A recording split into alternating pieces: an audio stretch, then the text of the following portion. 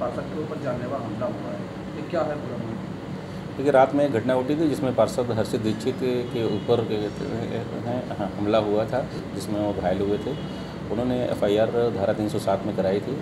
अभियुक्त को तत्काल गिरफ़्तार कर लिया गया था। बाकी आगे की उसमें कार्रवाई की जा रही है। इनका अभी उसी बात को लेकर के उनके पार्षद तथा अन्य अधिवक्तागण यहाँ एकत्रित हुए थे। उनकी डिमांड थी, थानाध्यक्ष मौके पर नहीं आए थे। इस बात को लेकर वो आक्रोशित थे। और उन्होंने मांग की रही थी कि हमें सुरक्षा व्यवस्था मुहैया कराई जाए तथा जो थानाध्यक्ष हैं उन्हें हटाया जाए। इस संबंध में हमें वरिष्ठ अधिकारीगण से वार्ता हुई है।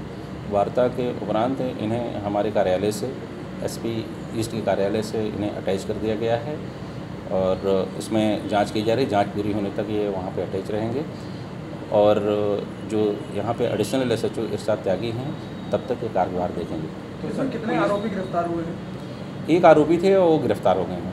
सर प्रशासन की तरफ़ से अभी तक कितने मतलब इनकी जो मांग थी उस पर क्या आश्वासन दिया गया? नहीं मांग तो इनकी यही थी कि थानाध्यक्ष के विरुद्ध इनको उन्होंने आरोप किया था। नहीं नहीं नहीं, इन- उनका ये था कि थानाध्यक्ष पद से इन्हें हटाया जाए।